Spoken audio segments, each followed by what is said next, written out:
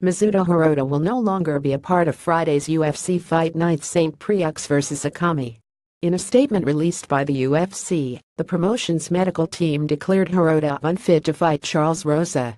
Due to health and safety concerns, the UFC featherweight bout Hirota vs. Rosa at UFC Fight Night Japan St. Preux vs. Okami has been cancelled, as Hirota was deemed unfit to compete by the UFC medical team, the statement read. Hirota weighed in at 150 pounds at Thursday's weigh-in, but his condition was concerning. He looked dazed, extremely drawn out, and had trouble maintaining his balance as he stepped off the scale. That he's been removed from the card certainly isn't surprising. Rosa was to receive her 30% of Hirota's purse, and presumably he'll get at least his show money considering he did make weight.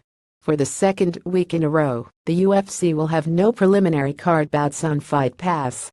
Here's the updated lineup main card FXX, 10 p.m. Eastern Time Yushin Okami vs. Ovince St. Preux Claudia Gadelha vs. Jessica Andrade Takanori Gomi vs. Dong Hyun Kim Gokhan Saki vs. Henrique da Silva Teruto Ishihara vs. Rolando Dy Jussier Formiga vs. Ulka Sasaki Preliminary Card FXX, 8 p.m. Eastern Time Keita Nakamura vs. Alex Morono Sayuri Kondo vs. Chan Miji and Shinsho Anzai vs. Luke Jumeau Daichi Abe vs. Hyun Gyu Lim